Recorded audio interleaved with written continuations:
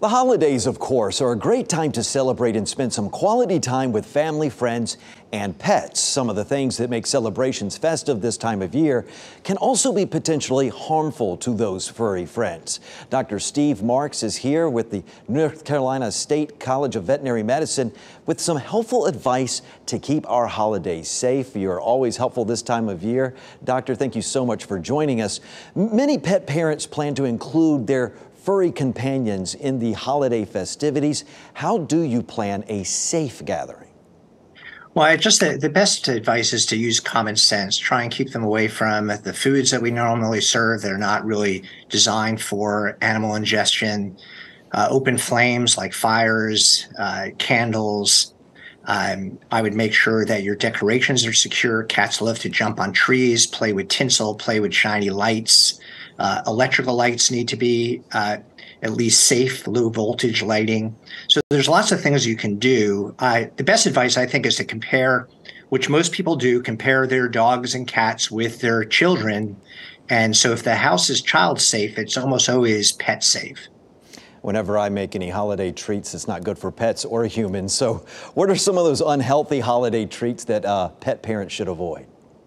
Well, I think, you know, honestly, everything can be relatively dangerous, but most people are aware that grapes can be a hazard, chocolate can be a hazard, uh, but bones are probably not a good idea. Anything that's very fatty is not a good idea. So th- these are these are foods that pets are just not used to ingesting. So it's better safe to just stick with the dog food and the cat food rather than the human food for our pets. That sounds like a good idea. And you mentioned earlier about the uh, the lights and things like that. Any tips on how to prevent Christmas decoration disasters?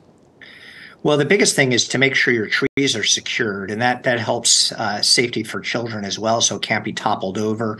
Most of the lights are very, very safe, but if there's uh, an outlet close by, make sure that you put the the the, the actual cords in a protective device. There's lots of things on the market to protect the cords from being chewed. So if a pet chews an electrical cord of any type, it can cause a lot of damage. And some people, of course, doctor, will be traveling with their pets as well. Anything they should keep in mind? Traveling is really you know really interesting because it's uh, it's safe for people in most cases if they wear seatbelts. Most people are not prepared to restrain their pets when they're traveling. You often see dogs on laps and dogs out uh, with their heads out windows. Our recommendation is to use some type of restraint or a pet carrier because if you do get in, an accident in the ice and the snow, uh, the pets are just as susceptible to you or maybe more susceptible to injury than you are. That's good to keep in mind. Dr. Marks, always around this time of year, we appreciate your time. Thank you so much for sharing your insight. Thank you. Happy holidays to you and all your viewers and their animal families.